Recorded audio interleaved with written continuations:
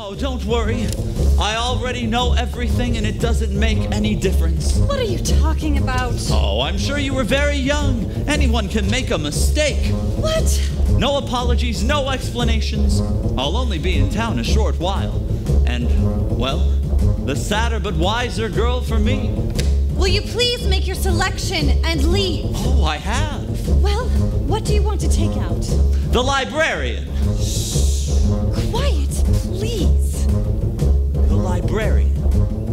You're not listening to me, Marian. Look. Marian. Marbles. Six Steelies, eight Aggies, a dozen Pee-wees, and one big glassy with an American flag in the middle. I think I'll drop them. No! Madam Librarian. Oh, what can I do, my dear, to catch your ear? I love you madly, madly, Madam Librarian. Marian, heaven help us if the library caught on fire and the volunteer hose brigademan had to whisper the news to Marian.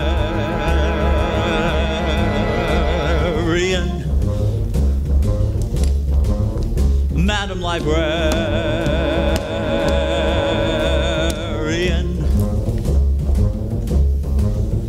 What can I say, my dear, to make it clear? I need you badly, badly, Madam Librarian. Marian, if I stumbled and I busted my whatchamacallit, I could lie on your floor unnoticed till my body had turned to carrion.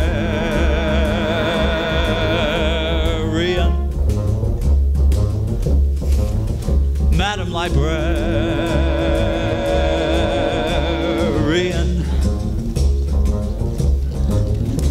Now in the moonlight, a man could sing it.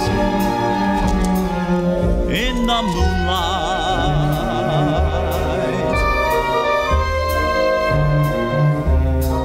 And a fellow would know that his darling had heard every word of his song with the moonlight helping along. In here to tell you, dear, I love you madly, madly, Madam Librarian. Marian, it's a long lost cause I could never win.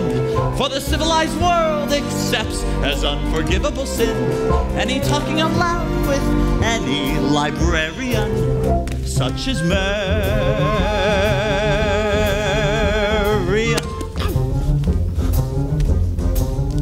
Madam Librarian.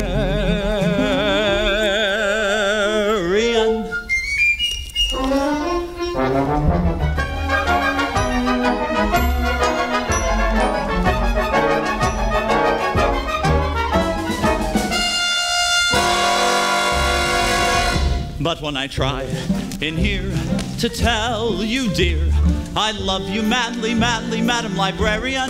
Marian, it's a long lost cause I could never win. For the civilized world accepts as unforgivable sin any talking out loud with any librarian, such as Marian.